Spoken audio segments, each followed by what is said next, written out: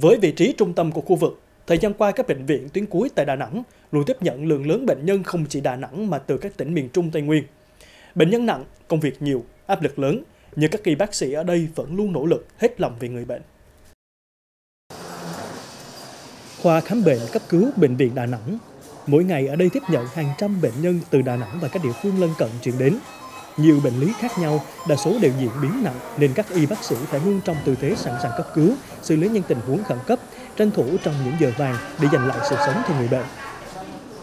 Với khoa cấp cứu thì à, nguồn nhân lực trực là luôn luôn à, 24 trên 24, à, lúc nào cũng có nhân lực trực, các y bác sĩ là sẽ chia ca với nhau và luôn luôn đảm bảo công tác đủ nhân lực để mà cấp cứu cho bệnh nhân.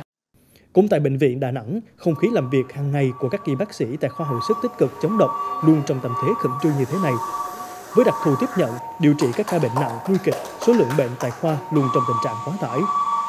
Áp dụng những kỹ thuật hiện đại cho để có thể cứu bệnh nhân, ví dụ như là có những cái uh, hạ thân nhiệt để cấp cứu cho những cái bệnh nhân ngừng tuần hoàn hoặc là những cái bệnh nhân kỹ thuật ECMO ở trong hồi sức là không có người nhà. Thế nên là bác sĩ vừa là đi khám bệnh cho bệnh nhân mà cũng là coi mình như là một người nhà của người bệnh. Đội ngũ y bác sĩ này là rất là giỏi, đã cứu chữa qua tới ngày hôm nay là đã đã và đã cho xuất viện. Còn đây là khoa khám bệnh cấp cứu bệnh viện Phụ sản Nhi Đà Nẵng, gần 20 năm dấn thân với nghề y, phần lớn thời gian bác sĩ Dũng làm việc ở khoa này.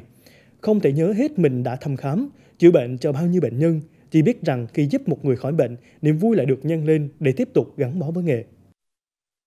cũng chứng kiến những cái cảnh của người thân của mình rồi đồng nghiệp